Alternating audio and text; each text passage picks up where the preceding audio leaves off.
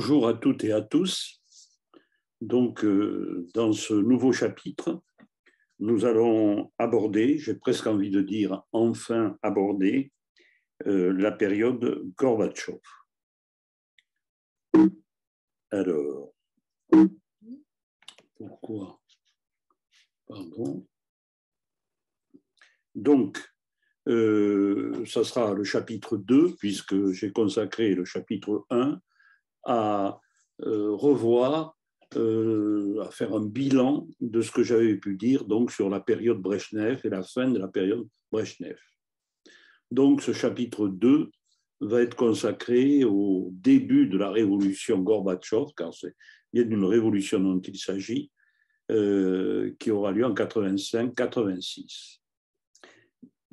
Alors, pour cette période, et pour approcher Gorbatchev, euh, nous avons, nous historiens, la, chance de pouvoir disposer quand même de quelques ouvrages euh, sur ou autour de Gorbatchev. Alors c'est euh, assez exceptionnel parce que dans les pays communistes, il est de tradition que les dirigeants n'écrivent pas de souvenirs ou de mémoires que ce soit Lénine, Trotsky, Staline, euh, en dépit parfois de titres de leurs ouvrages qui peuvent prêter à confusion, euh, il n'y en a aucun qui corresponde à ce que nous appelons, nous, un pays occidental, enfin un système capitaliste, euh, le, des mémoires. Non, ce n'est pas ça du tout.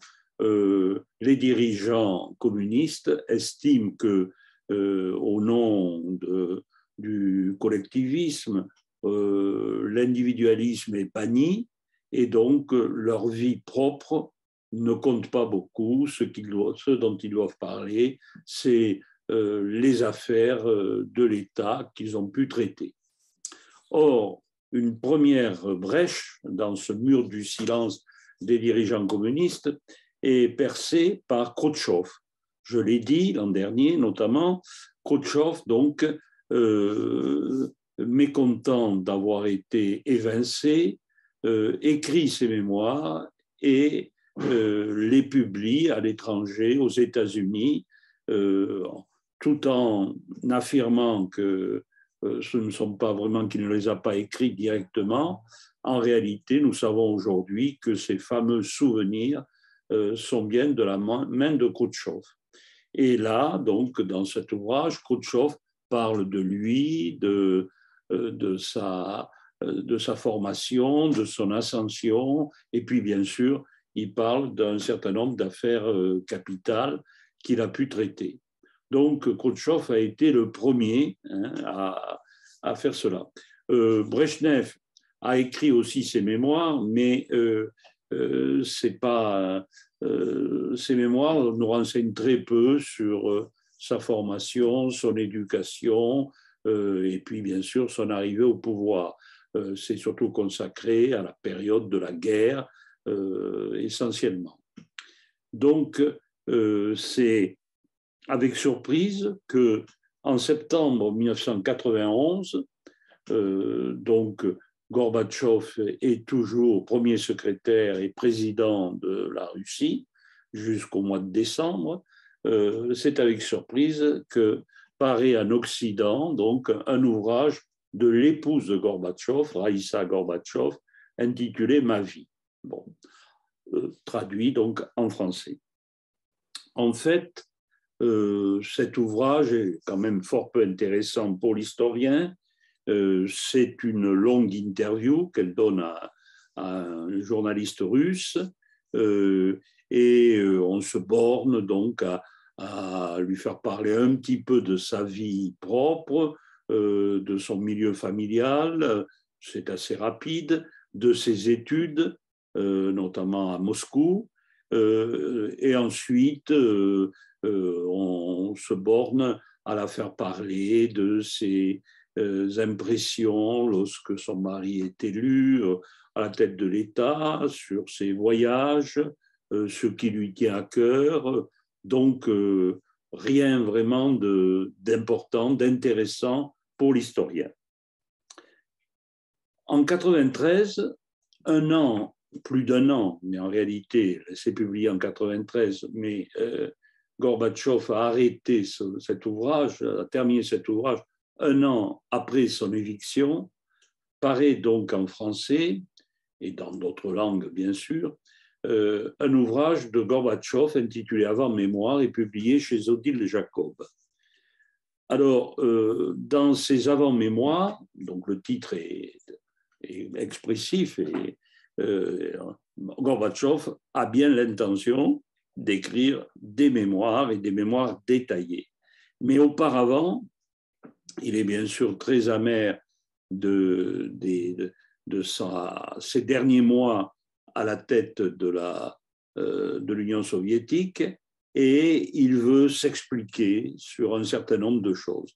Et il fait paraître rapidement cet ouvrage où il parle des négociations qu'il a menées euh, durant les, années 90-91 avec ce qu'on appelle les grands de ce monde, c'est-à-dire Bush, Kohl, euh, Thatcher, euh, François Mitterrand. sa rencontre avec Jean-Paul II, et puis, il donne euh, quelques détails sur les débats, parfois assez vigoureux, qui se déroulent à huis clos à l'intérieur de l'État soviétique. Alors, l'ouvrage est bref, pas inintéressant dans la mesure où on euh, suit, euh, on commence à suivre, à mieux connaître à partir de cet ouvrage le cheminement intellectuel, politique, moral de Gorbatchev. Mais euh, on reste quand même sur sa fin euh, pour, euh, disons, plonger dans l'ensemble de sa vie et de son œuvre. Et il faut attendre septembre 1997, donc plus de six ans après son départ de la tête de, l'Union soviétique, pour que paraisse euh, un très gros livre, presque 1000 pages, intitulé Mémoire. Alors là, il s'agit bien cette fois-ci euh, d'un ouvrage écrit euh, à la manière des hommes politiques occidentaux qui racontent à la fois ses débuts, c'est-à-dire le milieu familial, euh, sa jeunesse, euh, ses études, et qui euh, décompose les étapes qui l'ont amené au pouvoir. Donc, c'est un ouvrage extrêmement intéressant pour tous ceux qui veulent juger de cette période. c'est une, vraie chance que nous avons. Alors, inutile de préciser, je le fais quand même, que Gorbatchev, comme tous les auteurs de mémoire, dit ce qu'il veut. Et, d'autre part, euh, laisse euh, donc euh, dit ce qu'il veut à sa manière, donc il l'interprète, et il passe sous silence des choses qui peuvent l'ennuyer. Donc, l'historien sait bien que ce n'est pas une source, qui fait l'histoire. Il faut croiser. Mais euh, néanmoins, euh, sur des périodes qui, comme euh, sa jeunesse, par exemple, ou sa montée progressive jusqu'au Kremlin, sont des périodes pour lesquelles Gorbatchev semble sincère et masquer assez peu de choses. Donc, dans cet exposé que je ferai aujourd'hui, ne vous étonnez pas que j'utilise beaucoup, beaucoup cet ouvrage. Hein, J'en lirai de longs passages à plusieurs reprises. Alors, je voudrais commencer par euh, euh, ce qu'on peut appeler, banalement peut-être, les racines de Gorbatchev. Alors, c'est très important de savoir dans quel milieu géographique il a, il a vécu depuis son enfance et, disons, euh, jusqu'à son âge mûr. Alors, cette région, eh bien, elle se situe euh, au pied du Caucase, euh, donc autour de la capitale Stavropol, la capitale régionale Stavropol. C'est un milieu assez pluriethnique, certes, il y a la majorité des personnes sont russes ou ukrainiennes, mais surtout russes, mais il y a 20% de population venue des montagnes là, du Caucase Nord et donc tchétchènes, de, disons de, de nationalités enfin de, différentes. et pour Gorbatchev, c'est important d'avoir vécu dans un milieu pluriethnique. Alors, pour vous présenter un petit peu ce milieu géographique, euh, je vais euh, enfourcher euh, le, la comparaison, le cheval qu'avait choisi Jean-Baptiste Doumingue. Jean-Baptiste Doumingue, c'était un, un, homme d'affaires qui habitait près de Toulouse, qui était membre du Parti communiste et qui gérait beaucoup d'affaires très importantes économiques du Parti communiste français et qui avait des relations extrêmement étroites avec le Parti communiste soviétique, notamment euh, Gorbatchev à cette époque.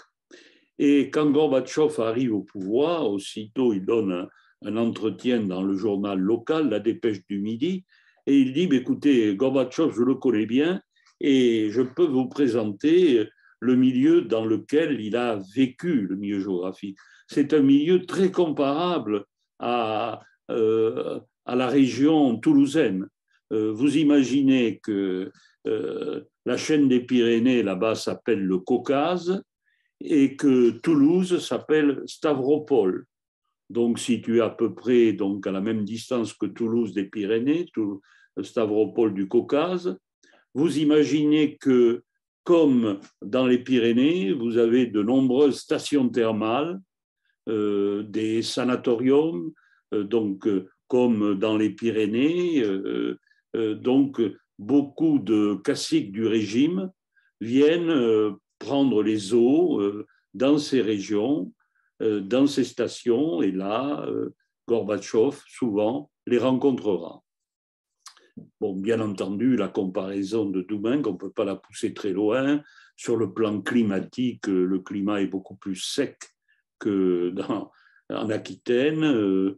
Euh, euh, bon, euh, et, d'autre part, le Caucase, même s'il y a des traits communs, c'est une montagne. Et moi, je connais un tout petit peu que le Caucase Sud. C'est vrai que par moments, je me croyais dans les Pyrénées, mais enfin, il y a, bien de différences. Alors, il n'est pas né à Stavropol, la grande ville au pied du Caucase.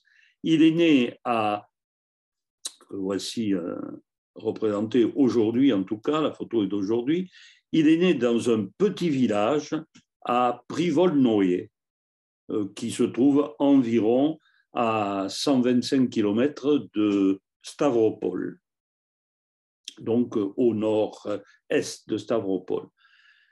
Euh, Moscou est très loin de tout cela, et hein. Moscou est à plus de 1600 km, hein, il ne faut jamais oublier.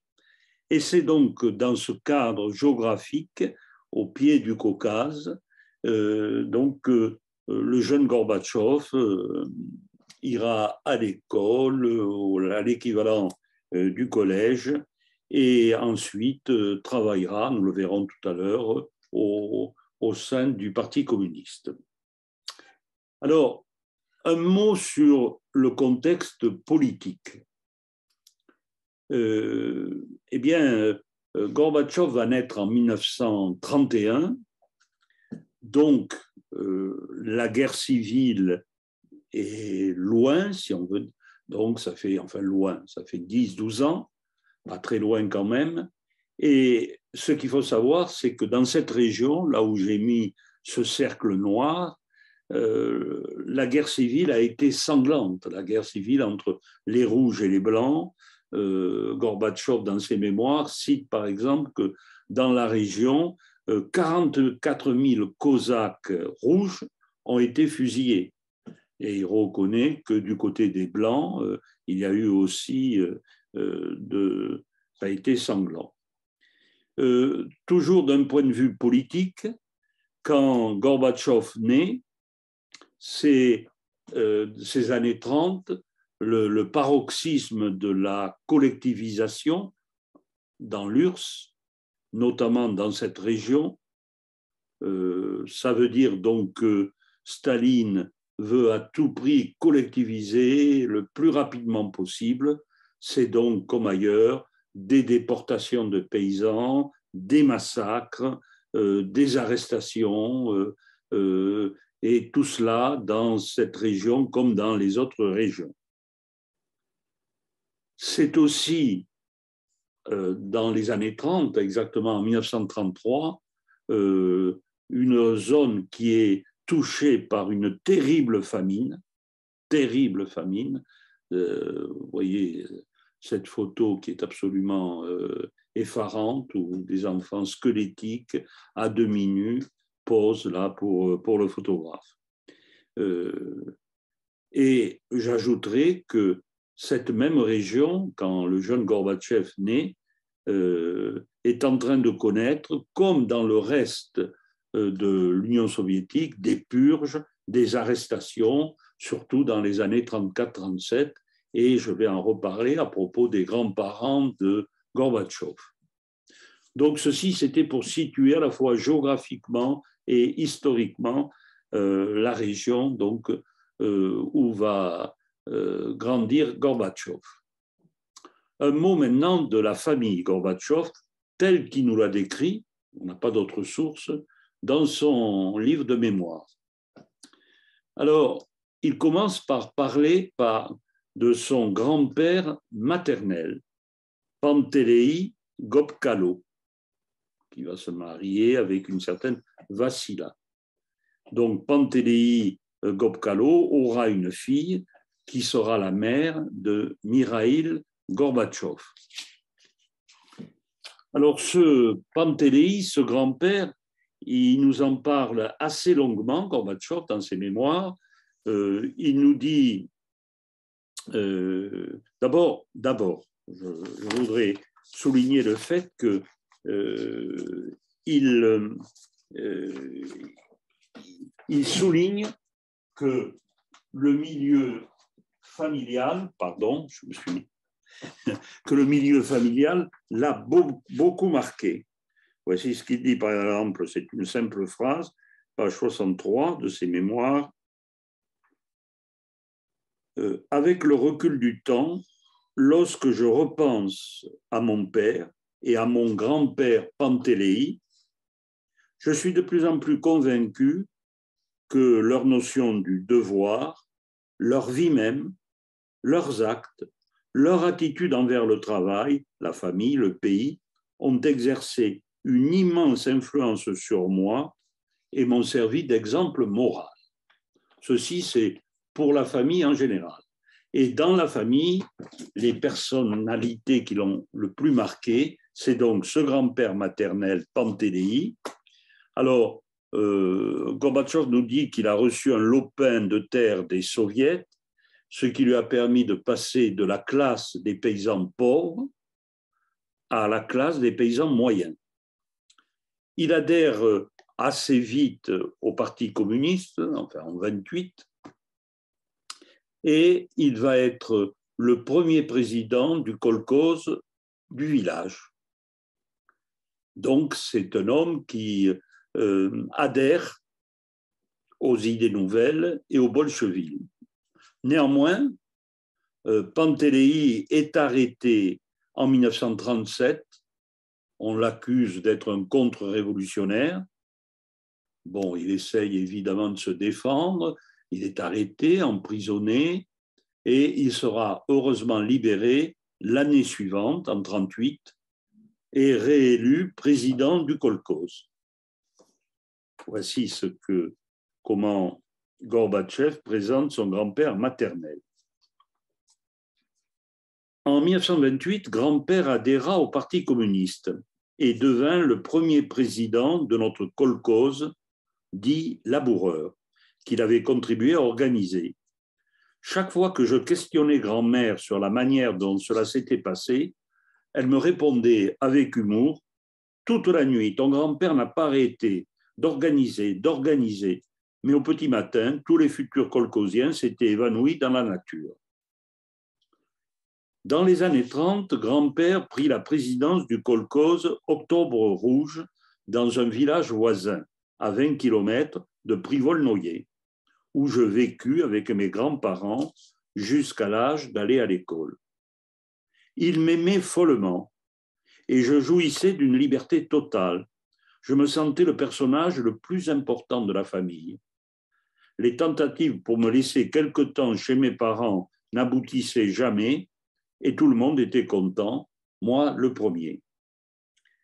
Dans mon enfance, la vie dans les campagnes n'avait pas encore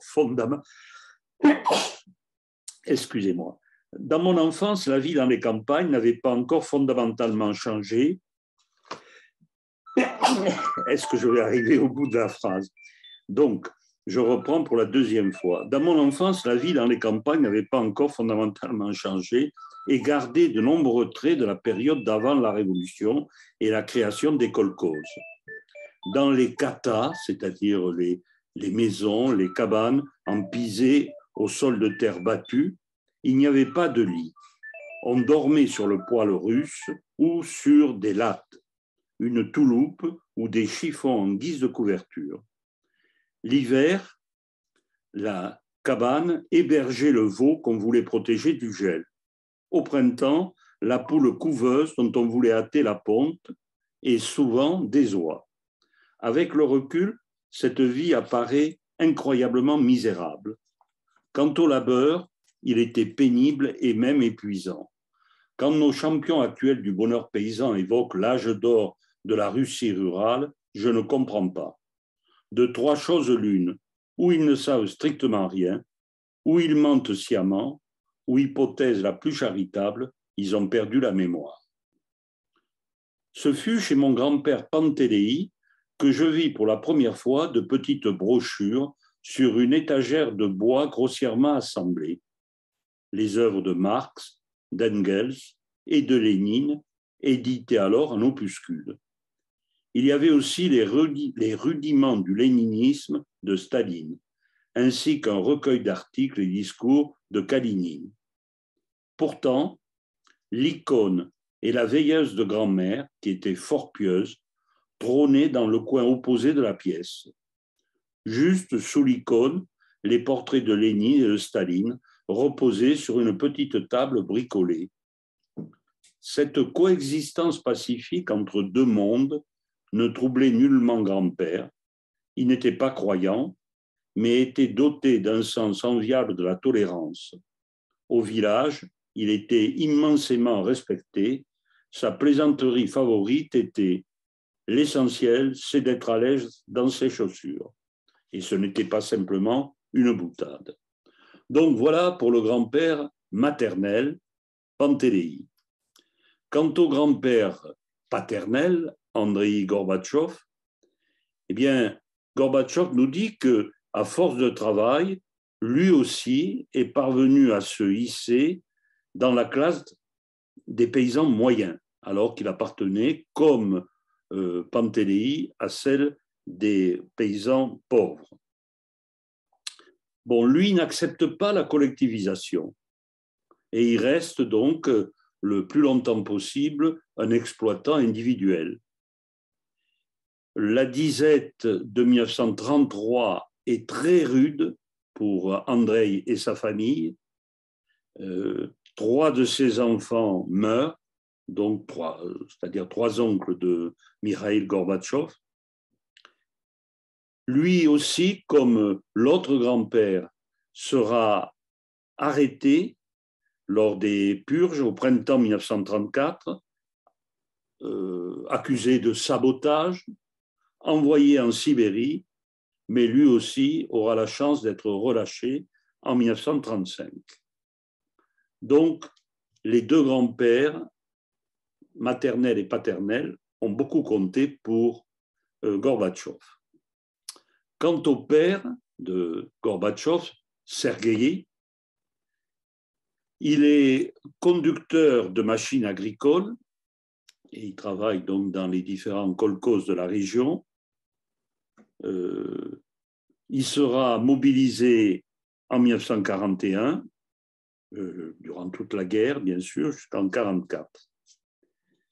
Alors voici ce que Gorbatchev nous dit de son père. À la fin de l'été 1944, donc son père était à la guerre depuis trois ans, un pli nous arriva du front. Il contenait des documents et les quelques photos de famille dont mon père ne se séparait jamais. L'adjudant-chef Sergueï Gorbatchev était tombé au champ d'honneur sur le mont Magoura dans les Carpates. Nous pleurâmes toutes les larmes de notre corps pendant trois jours d'affilée. Et puis, et puis nous reçûmes une lettre où mon père nous annonçait qu'il était sain et sauf. Les deux missives étaient datées du 27 août 1944. Se pouvait-il que mon père nous eût écrit avant de monter en ligne et de se faire tuer? Quatre jours plus tard, une nouvelle lettre nous parvint, datée du 31 août. Il était encore en vie et continuait à se battre contre les nazis. Je lui écrivis en lui exprimant mon indignation, envers ceux qui nous avaient envoyé un avis de décès erroné. Dans sa réponse, il prit la défense de ses camarades. Non, fiston, tu as tort de t'en prendre aux hommes. Au front, tout arrive. Toute ma vie, je me suis souvenu de cette phrase. Il nous raconta ce qui s'était passé au cours de ce mois d'août 1944, qu'après la guerre. Il ne nous raconta donc qu'après la guerre son unité de sapeur était tombée dans une embuscade. À la faveur de l'obscurité, les hommes s'égayèrent. Par miracle, il n'y eut pas de perte. Le lendemain, notre infanterie passa à l'offensive et l'on retrouva le sac de mon père sur les pentes du mont Magoura, d'où le pli contenant photos et documents. Malgré tout, la guerre devait marquer à vie l'adjudant-chef Gorbatchev. Curieusement, ce ne fut pas au combat. Son groupe bénéficiait d'une semaine de repos après avoir miné et détruit des lignes de communication sur les arrières de l'ennemi, lorsqu'un bombardier allemand, fuyant nos chasseurs, largua tout son chargement. Une bombe tomba non loin de mon père et un énorme éclat le blessa à la jambe. Voilà comment prit fin sa vie de soldat de première ligne près de la ville de Kosice, en Tchécoslovaquie. Il fut soigné à l'hôpital de Cracovie et le 9 mai 1945, le jour de la victoire, arriva avant qu'il ait pu se rétablir. Euh, le jugement qu'il porte sur son père est bref mais très positif. Parmi de nombreuses qualités, mon père, ce simple paysan, reçut en partage beaucoup de finesse et d'humanité qui le rendaient différent des autres villageois. Ceux-ci le respectaient et lui faisaient confiance. J'ai toujours été très proche de lui, et l'âge aidant, je m'en rapprochais encore plus. Son intérêt inextinguible pour les choses de la vie me fascinait. Il se passionnait autant pour les problèmes du pays que pour ce qui se passait au-delà de nos frontières. J'ai toujours admiré son comportement envers maman, réservé, simple et chaleureux, sans la moindre trace d'affectation. Il lui rapportait des cadeaux de tous ses déplacements. Sergei Andreevitch Gorbatchev, mon père, mourut en 1976 d'une hémorragie cérébrale il fut inhumé le 23 février, le jour de l'armée soviétique, dans cette terre de Privolnoye où il naquit, qu'il laboura depuis son plus jeune âge et qu'il défendit au péril de sa vie.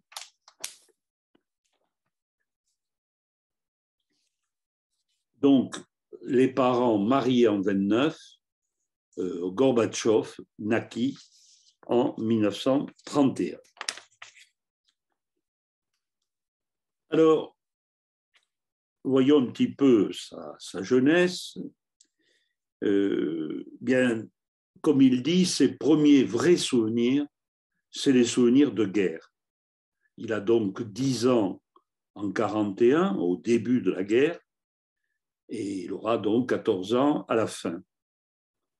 Euh, il écrit Peut-être pensera-t-on que j'exagère, mais je me souviens de tout ce qui s'est passé pendant la guerre. Je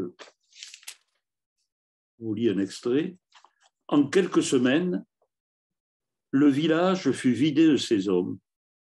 Comme tous les conducteurs de machines agricoles, mon père bénéficia d'un sursis pour la moisson. Mais en août, il partit à son tour.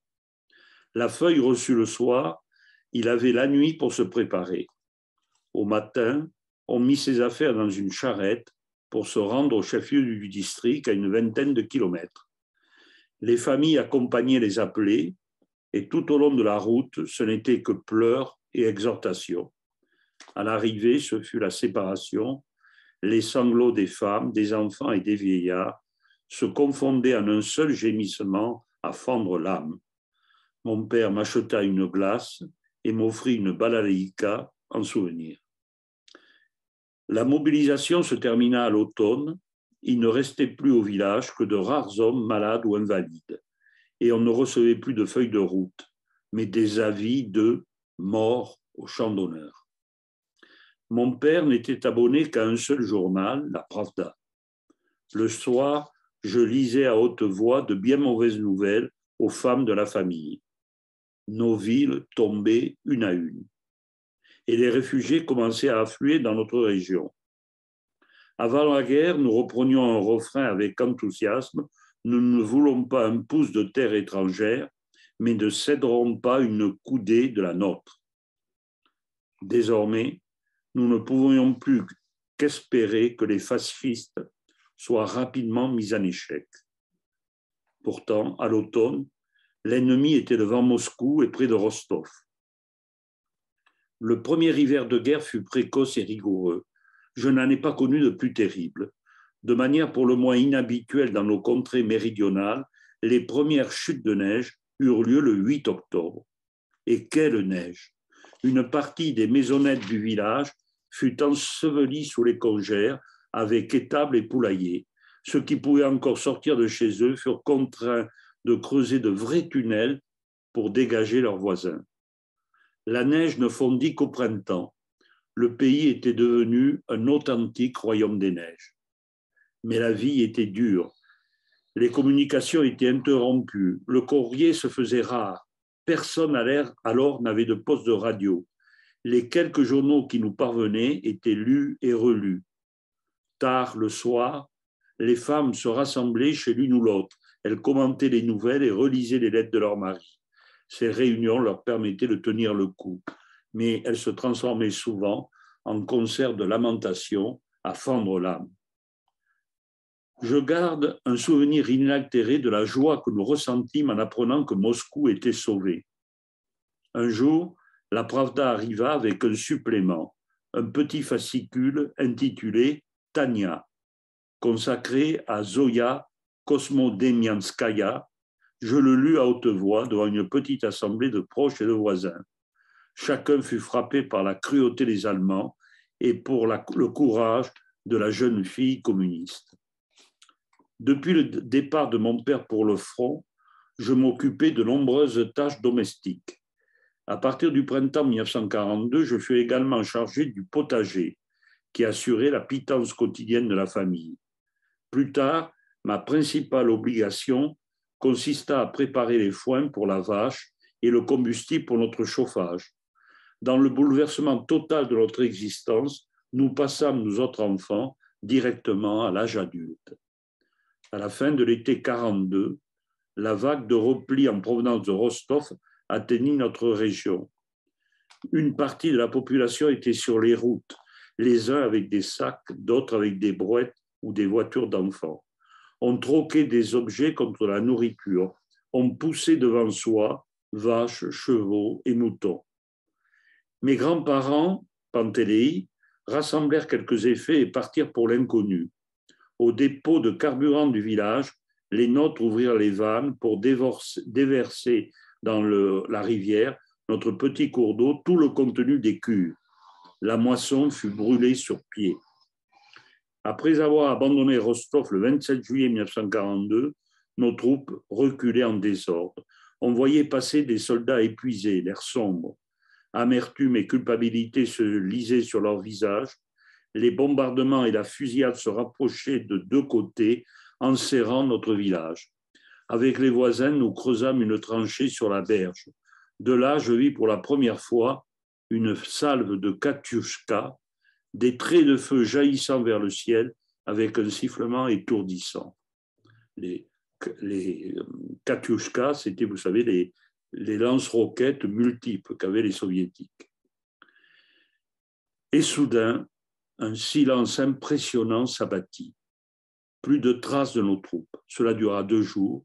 Le surlendemain, des motards allemands venant de Rostov, suivis par des unités d'infanterie, investirent le village. Pour leurs travaux de camouflage, ils arrachèrent des vergers cultivés depuis des décennies. Grand-mère revint quelques jours plus tard. Elle et grand-père avaient presque atteint Stavropol, mais les chars allemands les avaient devancés. La ville était tombée le 5 août 1942.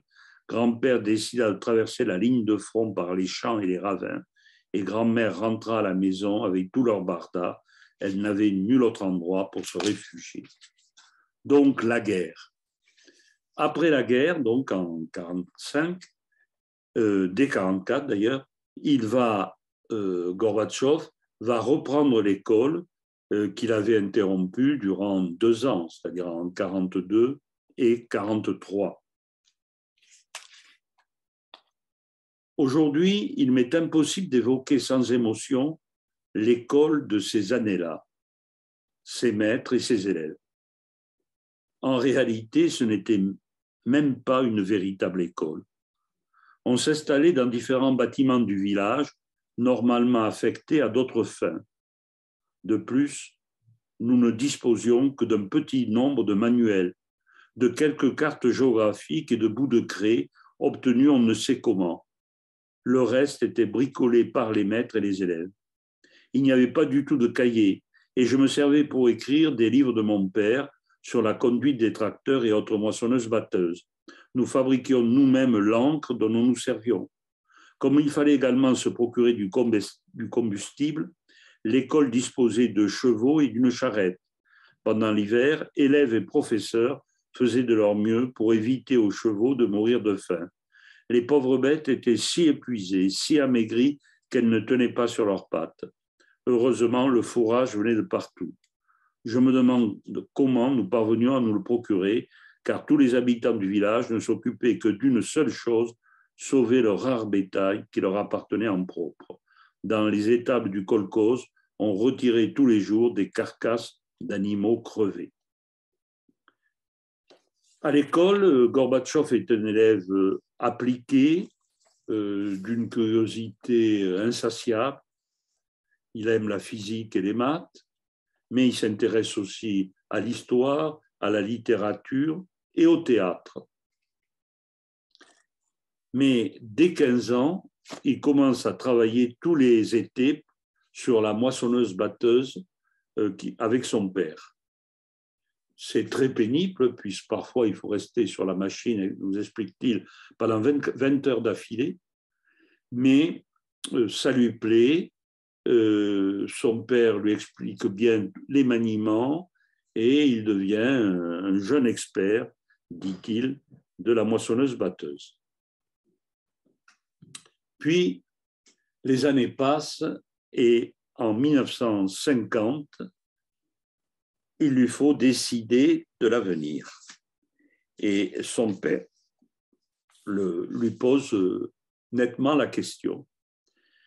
Je finis mes études secondaires avec une médaille d'argent en 1950. J'avais 19 ans, l'âge de partir sous les drapeaux, et il me fallait prendre une décision. C'est à toi de voir, me dit mon père. Si tu veux, nous pouvons travailler ensemble. En revanche, Si tu veux continuer à étudier, je t'aiderai de mon mieux. Mais c'est une question sérieuse et c'est à toi seul de trancher. J'étais déjà déterminé à poursuivre mes études. Mes camarades d'école se présentaient aux établissements d'enseignement supérieur de Stavropol, de Krasnodar ou de Rostov. Moi, j'optais pour la faculté de droit de l'école la plus prestigieuse du pays, l'université Lomonosov de Moscou. Il m'est impossible de dire que cette décision participait d'un dessin mûrement réfléchi. Je n'avais qu'une vague idée de ce qu'était la jurisprudence et le droit, mais j'étais séduit par le statut de juge ou de procureur. Je fis donc parvenir ma demande au bureau d'admission de la faculté. Les jours passèrent, mais je ne reçus aucune réponse. Je me décidai donc à envoyer un télégramme avec réponse payée d'avance. Cette fois, la décision me parvint, inscrit avec octroi d'une place au foyer. Il s'agissait là d'une admission par la grande porte, et cela sans le moindre entretien préalable. De nombreux éléments avaient visiblement joué en ma faveur, mon origine prolétaire et paysanne, mes références de travailleur, ma qualité de membre du parti en période probatoire et bien évidemment la haute distinction dont j'avais été honoré à l'école. Au demeurant, ma candidature permettait aussi d'optimiser la composition sociale du corps étudiant où les anciens combattants euh, euh, prédominaient alors. Ainsi donc, j'étais étudiant à l'université de Moscou. Pendant les premières semaines et même les premiers mois, j'étais loin de me sentir à l'aise. Entre mon village de Primvolnier et Moscou, la différence était trop grande et le changement trop brutal. Voici donc la fameuse université Lomonosov où j'ai eu le plaisir, l'honneur de faire un cours il y a une dizaine d'années, qui se situe donc sur la colline qui domine Moscou. Alors, il continue en disant, tout était nouveau pour moi à Moscou. La place rouge, le Kremlin, le théâtre Bolchoï, où pour la première fois de mon existence, je me rendis à des spectacles d'opéra et de ballet, la galerie, la galerie c'est le Louvre de, Moscou, le musée Pouchkine des Beaux-Arts, ma première promenade en bateau sur la Moscova, les excursions dans la région de Moscou, ma première manifestation pour l'anniversaire de la Révolution d'octobre. Et à chaque fois, un indescriptible sentiment de découverte. Donc le voilà à Moscou, donc il a une vingtaine d'années, et c'est là, à l'université, qu'il va faire connaissance de euh, c'est-à-dire de sa future épouse. Il la rencontre exactement en 1951. Euh, lui est donc étudiant en droit, elle est étudiante en philo et en sociologie. Donc euh, Raïssa n'aura pas trop l'occasion, j'aurai pas trop l'occasion d'en reparler, mais il faut savoir qu'elle a joué un rôle essentiel dans la vie de Gorbatchev, y compris dans la vie politique. C'est lui qui l'affirme. Et lorsqu'elle va mourir euh, prématurément en 1999, donc euh, d'une leucémie, il sera désespéré. Et il en parle toujours, euh, plus d'une vingtaine d'années plus tard, avec beaucoup de chagrin et de regret.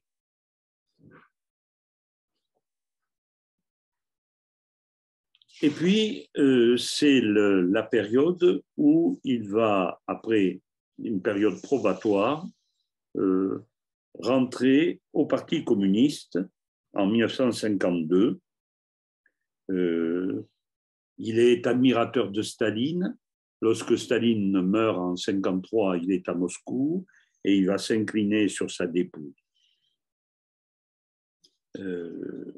et il milite dans les jeunesses communistes. Donc, euh, euh, voilà pour cette première phase, euh, ce sont les jeunesses communistes. Donc, on est jeune communiste jusqu'à plus de 30 ans. Euh, voici Raïssa Gorbatchev, que j'aurais dû vous montrer il y a un instant. Donc, ceci, c'était une première partie que j'ai intitulée Les racines de Gorbatchev.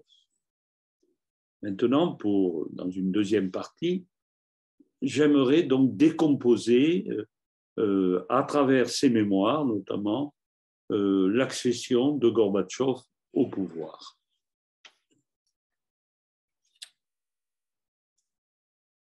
C'est une progression, vous verrez, très régulière au sein du parti. Euh, donc cette progression se fait, je répète, c'est un, un apparatchik du parti depuis le début. Hein.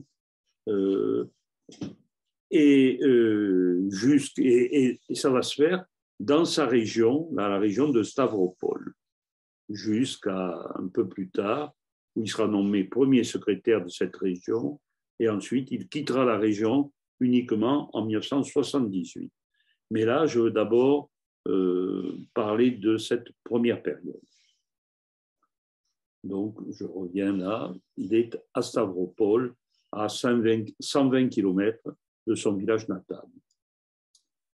Alors, il revient à Stavropol, où il va euh, être intégré au sein du secrétariat des jeunesses communistes.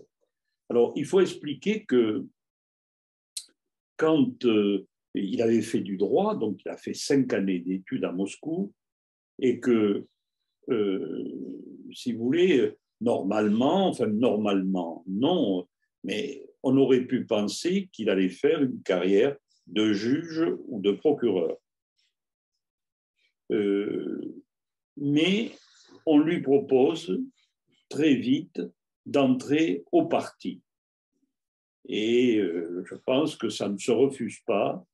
Et donc, euh, il, ne va pas par conséquent être juge ou procureur, il va exercer des fonctions au sein du parti. Et d'abord, donc, sa première marche, c'est au sein des jeunesses communistes euh, de Stavropol.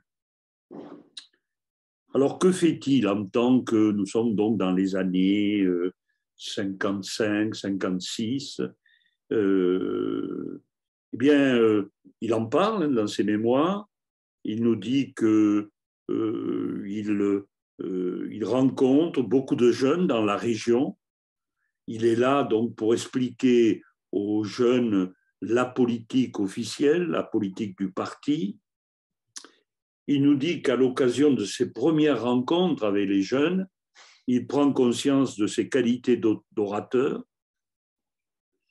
Déjà, il y a ce qu'on va appeler plus tard un style Gorbatchev, c'est-à-dire que il, euh, est cordial, il est simple. Euh, donc les premiers échanges avec lui sont francs, cordiaux, presque amicaux. Hein. Euh, d'autre part, il proclame qu'on peut parler de tout avec lui. Et il pense créer des clubs de discussion. En fait, nous verrons par la suite qu'il est plus rigide qu'il ne paraît. Mais au départ, on a rarement vu un, un apparatchik, même s'il n'est pas au sommet, loin de là. Il est tout jeune, il fait partie des jeunesses communistes. Mais on n'a pas l'habitude de voir quelqu'un euh, s'exprimer de cette façon, euh, euh, parmi les, les apparatchiks du parti. Voilà donc euh, des jeunes filles qui font partie des Komsomol, c'est-à-dire des jeunesses communistes. Alors, sa deuxième marche, pour moi, d'après ses mémoires, hein, c'est la rencontre avec un dirigeant de haute volée, Koulakov. Euh, il semble que Koulakov apprécie très tôt et très vite Gorbatchev. Et en 1963, Koulakov, qui fait partie des caciques du parti donc euh, à Stavropol, propose à Gorbatchev de quitter le secrétariat des jeunesses communistes pour s'occuper de la euh, du c'est un peu compliqué du secrétariat d'organisation de base du parti, hein, euh, c'est-à-dire de la gestion en gros du personnel du parti à Stavropol. Euh, ça veut dire que donc il va s'intéresser au personnel qui appartient aussi bien aux syndicats, aux jeunesses communistes, au conseil. Ce n'est pas un poste capital, mais c'est un poste quand même important.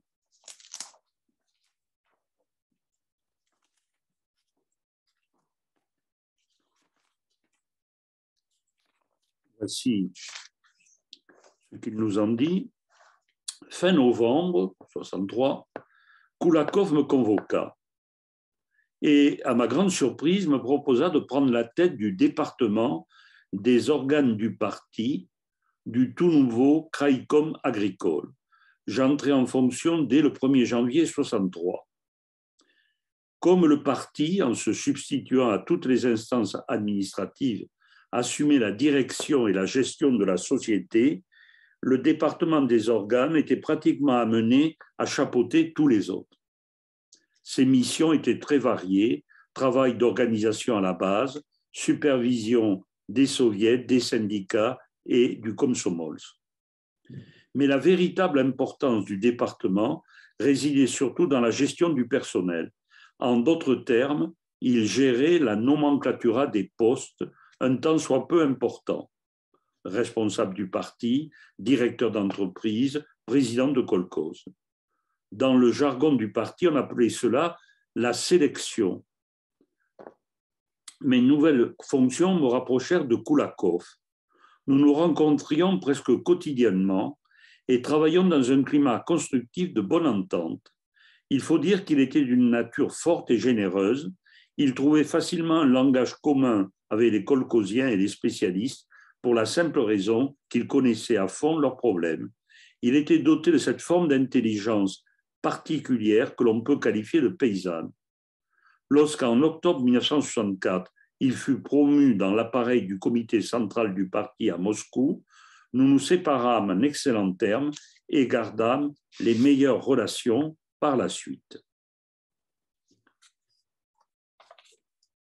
Troisième marche, après le départ de Koulakov, et vraisemblablement sur la recommandation de Koulakov, Gorbatchev va devenir premier secrétaire du parti de la ville de Stavropol.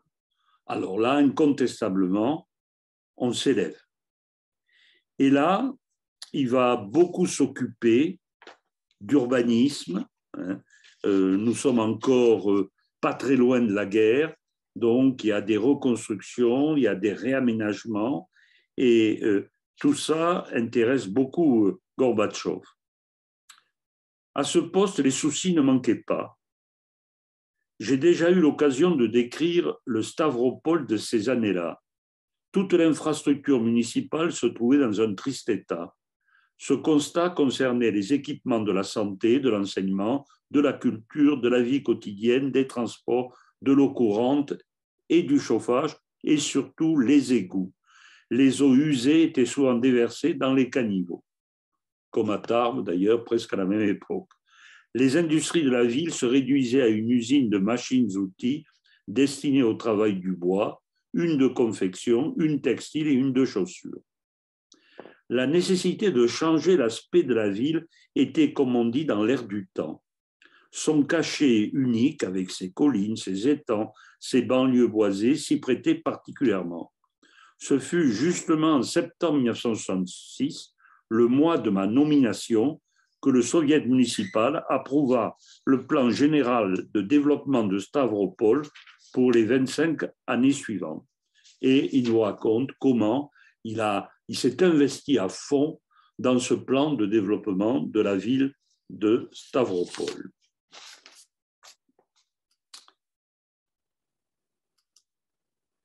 Voici d'ailleurs la ville, peut-être pas exactement à cette époque, à une période plus contemporaine.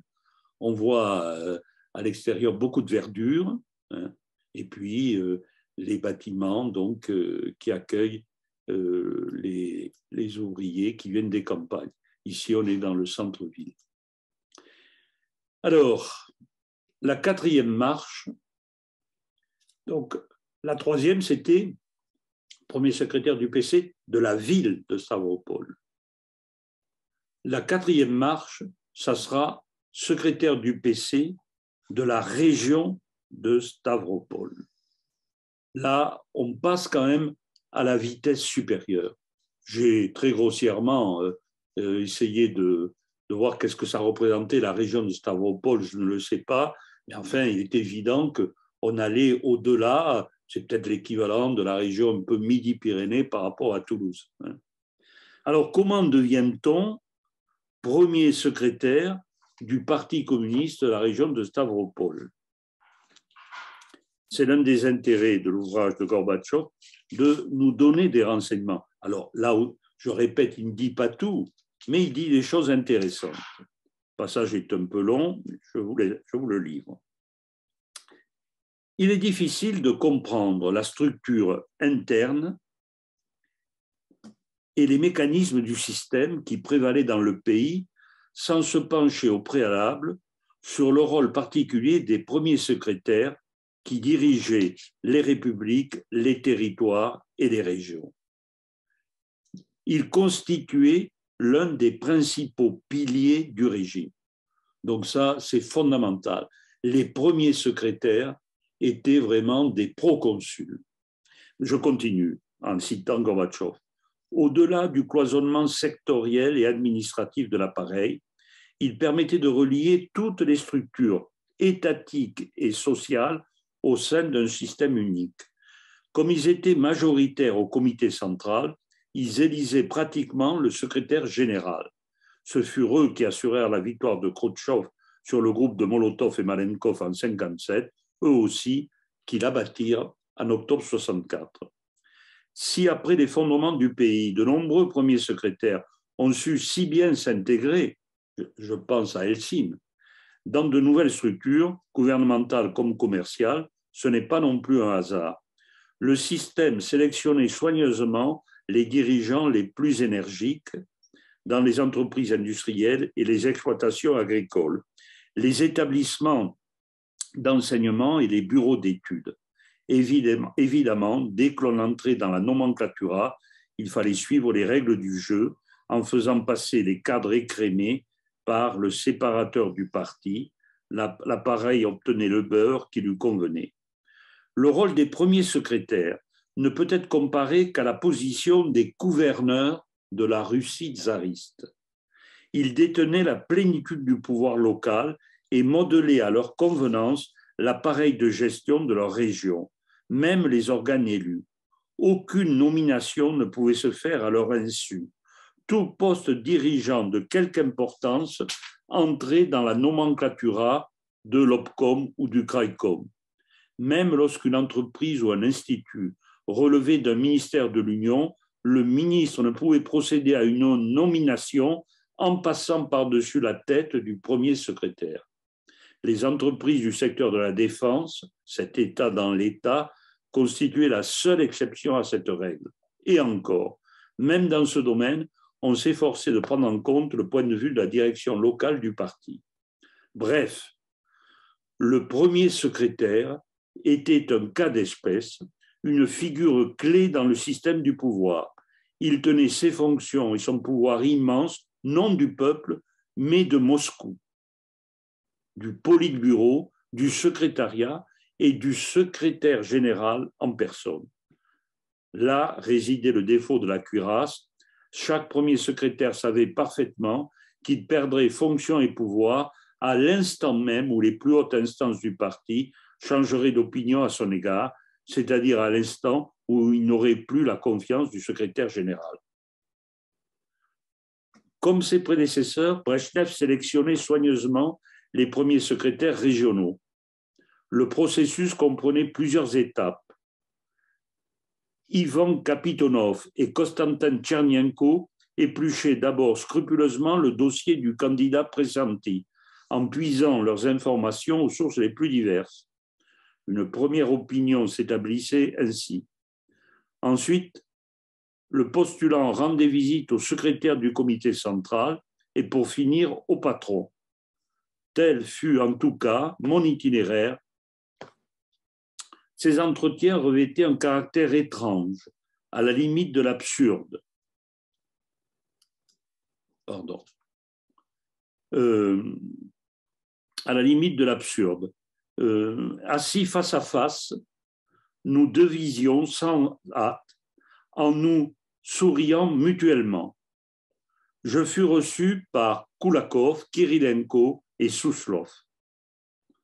Je connaissais parfaitement la raison de ma présence, mais personne n'en parlait, car seul Brezhnev était en droit de prononcer les paroles décisives Nous vous recommandons pour ce poste. La rencontre finale avec Brezhnev fut tout à fait différente. Comme je pus souvent le remarquer, Brezhnev était en droit de prononcer les paroles décisives. Mais Brezhnev avait l'art aussi de s'attirer la sympathie de ses interlocuteurs et de créer un climat détendu. Dès le début de la conversation, il m'a appris ce que je savais déjà. Eh bien, précisa-t-il, jusqu'à présent, la fonction était occupée par des gens d'ailleurs. Désormais, ce sera un homme du pays. Ensuite, il me raconta, sur le ton de la confidence, comment il avait participé à la retraite du Don et du Kouban vers Novorossiysk pendant la guerre. La chaleur, la poussière, le manque d'eau, trouver un peu d'eau pour étancher sa soif était un problème. Mais j'ai remarqué que les gens recueillaient l'eau de pluie dans des cavités spécialement aménagées sur les toits la conversation glissa insensiblement sur les problèmes de la région de Stavropol. Je perçais à jour son petit stratagème. Me faire parler et se faire ainsi une opinion de moi et de mon aptitude à analyser les problèmes locaux et même nationaux, puisque nous parlâmes ensuite d'économie, de politique extérieure, des cadres. Brezhnev abordait toutes ces questions sur le ton de la confidence comme s'il voulait me confier ses pensées les plus secrètes. Nous devisâmes ainsi pendant plusieurs heures dans son bureau de la vieille place. Pouvait-il me venir à l'esprit que ce bureau deviendrait le mien quinze ans plus tard? Il faut dire qu'à cette époque, Brezhnev ne ressemblait en rien aux caricatures que l'on fait de lui aujourd'hui. Donc voilà euh, Gorbatchev nommé premier secrétaire de la région de Stravopol. Donc, nous verrons la prochaine fois ce qu'il a fait durant les huit ans qu'il est resté premier secrétaire. Euh, ce qu'il a fait est fondamental pour expliquer pourquoi il va être appelé à Moscou à la fin donc de cette période.